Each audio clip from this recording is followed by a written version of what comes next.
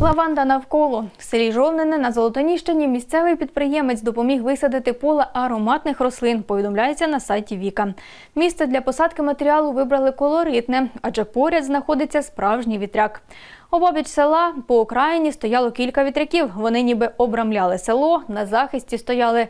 Вони всі були працюючі. Єдине, що ними не користувались, бо тут був механічний млин. Додає краєзнавець Сергій Данько.